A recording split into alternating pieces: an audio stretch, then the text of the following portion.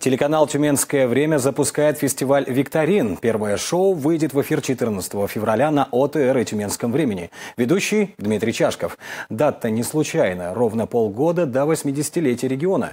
Викторина «Я люблю тебя, Тюменская область» посвящена истории родного края. Проходить она будет в два этапа. 10, 11 и 14 февраля в торговых центрах «Кристалл», галерея «Вояж», «Сити Молл», «Гудвин» и на улице Дзержинского будут работать промоутеры.